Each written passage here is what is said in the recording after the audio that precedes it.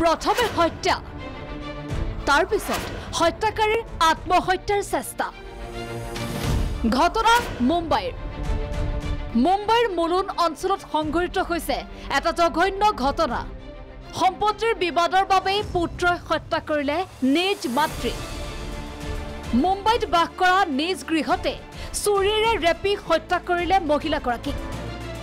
ফ্লেটৰ বাহিৰত তেজ দেখি চুবুৰীয়াই খবৰ দিছিল আৰক্ষীক। আৰু খবৰ অনুসৰি আৰক্ষীয়ে তদন্ত কৰি ঘটনাস্থলীৰ পৰা উদ্ধাৰ কৰে চোকা অস্ত্ৰ আৰু এখন ছুইচাইড নোট ছুইচাইড নোটখনৰ পৰা জানিব পৰা গৈছিল এই সমগ্ৰ ঘটনাটো আচলত হৈছিল কি? ছুইচাইডখন গুজৰাটী ভাষাত লিখা থকাৰ বাবে মৃত মহিলাগৰাকীৰ স্বামীয়ে অনুবাদ কৰিছিল ছুইচাইড নোটৰ শিহৰণকাৰী ঘটনাটো।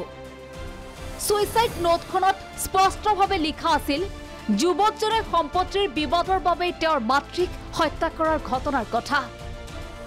আনহাতে মাতৃক হত্যা কৰাৰ পিছত যুৱকজনে ৰেলৰ সন্মুখত গৈ আত্মহত্যাৰ চেষ্টাও কৰিছিল। কিন্তু ৰেল আৰক্ষীয়ে উদ্ধাৰ কৰিবলৈ সক্ষম হৈছে যুৱকজনক। যুৱকজনক উদ্ধাৰ কৰি চিকিৎসালয়ত ভৰ্তি কৰোৱা হয় যুৱকজনক।